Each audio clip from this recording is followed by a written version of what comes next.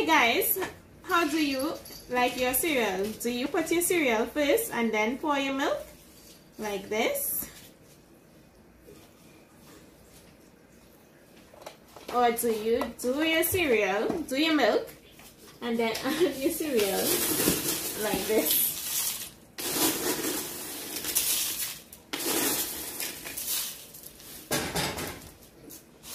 And what do you use for sweetener? Like, do you all use maple syrup as the sweetness.